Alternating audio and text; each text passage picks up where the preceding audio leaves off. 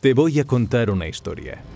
Desde pequeño crecí escuchando historias de leyendas, historias de jugadores que levantaron naciones.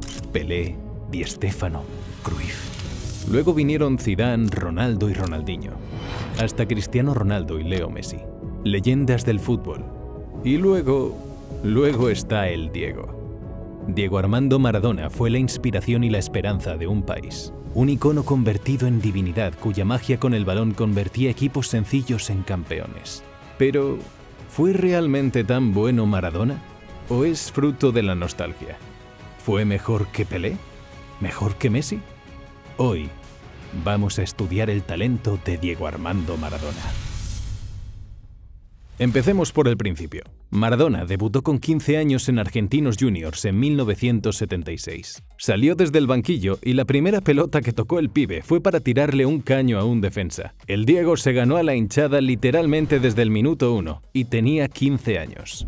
Esa fue la principal cualidad de toda su carrera. Era un futbolista mágico. De esos que levantan a la grada, que despiertan los solés del estadio. Era un mago con el balón, adelantado a su tiempo en una época en la que el fútbol era mucho más práctico que artístico. Cuando solo llevaba 11 partidos disputados profesionalmente, recibió la llamada para jugar con la selección de Argentina. ¿Quién le iba a decir que ese sería el primer paso para tocar el cielo con las manos? De hecho, en sus cinco temporadas en Argentinos Juniors, pasó de ser un chico de la calle que dormía con su pelota de fútbol porque era su único juguete a ser una estrella en Argentina. El propio Diego describe en su biografía que su ascenso a la fama fue demasiado rápido, y esto lo digo yo, probablemente una razón por la que su vida se complicaría más adelante.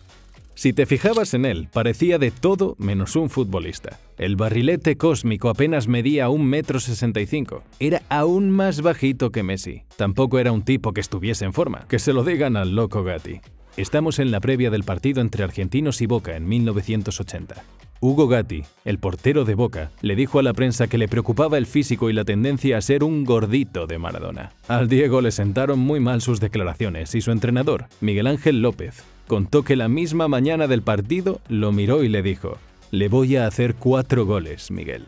Y cuatro goles como cuatro soles que le cayeron a Gatti. Argentinos ganó 5-3 a Boca, pero la humillación no acabó aquí. La hinchada de Boca estaba tan impresionada por su talento que corearon su nombre. Boquita ovacionó a Maradona. Su nivel estaba tan lejos de los demás que solo podían rendirse a él. Ese fue un punto de inflexión, porque el Pelusa interesaba a Boca Juniors, pero también a River Plate. Y esa fue otra característica de su carrera. Si tenía que elegir, elegía el bando más pequeño para enfrentarse a los más grandes. Maradona se convirtió en el nuevo fichaje de Boca. Jugó cinco temporadas en Argentinos, marcando 116 goles en 166 partidos y siendo el único jugador en la historia de Argentina que se convirtió en el máximo goleador de la primera división en cinco ocasiones seguidas. Con apenas 19 años, ya había marcado más de 100 goles oficiales. Pero no olvidemos una cosa, Maradona no era delantero. Maradona era centrocampista, jugando la mayor parte de su carrera como mediapunta. Recordad esto cuando lo comparéis con Pelé. Boca era el equipo de sus amores, su equipo de la infancia y también un equipo que estaba en una situación muy difícil. Maradona consiguió ganar su único título en Argentina, campeones del torneo metropolitano en 1981, en su único año en el club. La mala situación económica de Boca y la mala relación de Maradona con su entrenador, Silvio Marsolini, acabaron con Maradona cogiendo un avión en dirección a España para su próximo destino, el Fútbol Club Barcelona. Su paso por España en el Mundial del 82 fue definitivo para que acabase en el Barça, donde Argentina cayó frente a Italia en un partido para la historia, porque se convirtió en el jugador que más faltas recibió en un solo partido, 26. Al Diego lo cosían a patadas porque no había forma de frenarlo. Después lo expulsarían en su partido contra la Brasil de Zico por una entrada fruto de la frustración y saldría del campo llorando de la rabia. Su fichaje por el Barça lo convirtió en el jugador más caro de la historia para la fecha, pero su primera temporada fue complicada. Marcó 6 goles en 13 partidos, pero una hepatitis lo dejó fuera del campo más de 3 meses. A su regreso, el Barça fichó a César Luis Menotti como entrenador, el mismo que dejó a Maradona fuera de la lista del Mundial del 78. Pero con él consiguieron ganar la Copa del Rey y la Copa de la Liga, ambas frente al Real Madrid, y ambas con goles de Diego Maradona. Una vez más, el equipo rival se rindió a los pies del mago. El Santiago Bernabéu se puso en pie para aplaudir la belleza de su juego, y os aseguro que eso no pasa a menudo. Maradona tenía algo magnético con el balón. Era casi poético. Y en aquella época no se andaban con pequeñeces. El juego era mucho más duro, menos protegido y más físico. Sus rivales lo sabían, así que el terreno se convirtió en una guerra. Una carnicería que acabaría con Maradona saliendo en camilla con el tobillo izquierdo roto después de una entrada salvaje de Goicochea en su partido contra el Athletic Club de Bilbao. Le diagnosticaron seis meses de baja. A los tres ya estaba pisando el césped de nuevo, marcando otros dos goles en su partido de regreso. El Barça volvió a clasificarse para la final de la Copa del Rey en su segunda temporada. Maradona estaba listo para otra final. Pero esa final fue contra el Athletic Club, con Goicochea en el campo. La tensión fue creciendo en los días previos y el campo fue una carnicería de patadas. El Athletic ganó por 1 a 0, pero el pitido final abrió la veda y Maradona agredió a Miguel Ángel Sola, empezando una batalla campal bochornosa para el fútbol. Tercer detalle sobre Maradona, su carácter. Era un tipo complicado, con un grandísimo ego por su talento y sus rivales sabían buscarle a las cosquillas. La Federación Española de Fútbol impuso a Maradona una sanción de tres meses sin poder jugar en competiciones españolas. Esto, sumado a sus salidas nocturnas y sus primeros coqueteos con ciertas sustancias como reconoce en su biografía, comenzaron a pesar en la directiva del Barça. Al otro lado del Mediterráneo, en Italia, se frotaban las manos. Y así, en 1984, el Nápoles se hizo con los servicios de Maradona por 8 millones de euros y 4 años de contrato. Su legado en el Fútbol Club Barcelona fueron 58 partidos, 38 goles y 24 asistencias, consiguiendo un promedio similar al de su paso por Argentinos.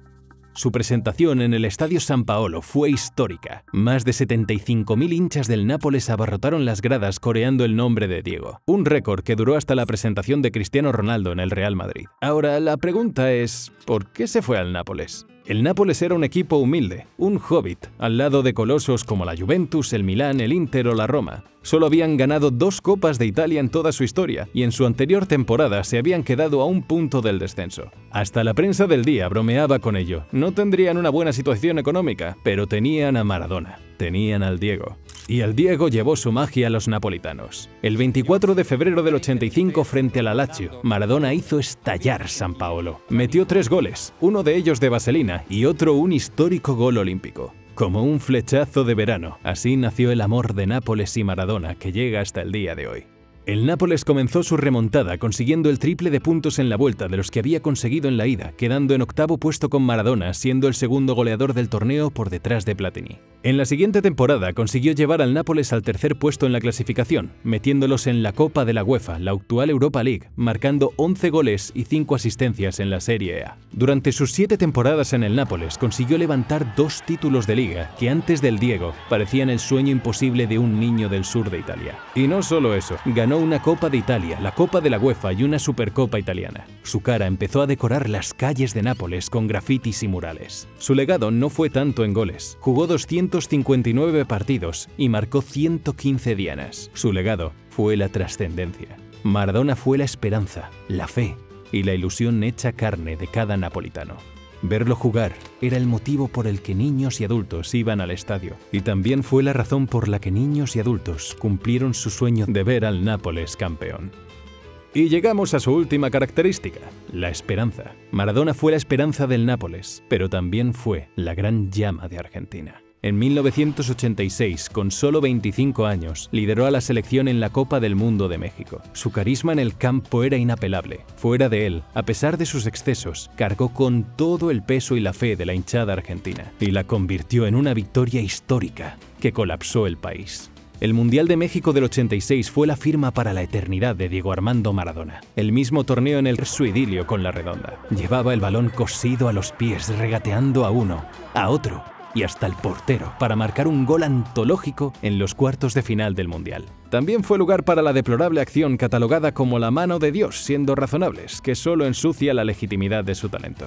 Maradona trajo la gloria a una Argentina que se enfrentó y ganó a la Alemania de Mataus y Rummenigge en la... Este pibe se levantaba cada día y bailaba con la pelota a sus rivales con la naturalidad de alguien que se rasca la frente. Era más que un goleador. Era un artista con un talento único que quedó sellado en la memoria de millones de aficionados en todo el mundo. El fútbol ha cambiado. La ciencia, la medicina y la tecnología han afectado dramáticamente a la preparación física de los futbolistas, a los partidos, los arbitrajes y el estilo de juego. Maradona, al igual que Pelé, Di Stefano o Eusebio, vivieron épocas infinitamente más complejas en situaciones mucho peores. Compararlos con la actualidad sin tenerlo en cuenta sería un pecado. Cada día será más difícil elegir qué jugador es el mejor de la historia, pero una cosa es segura. Para todos los que vengan, y todos los que hubo, el Diego siempre será un faro en el bello arte del fútbol.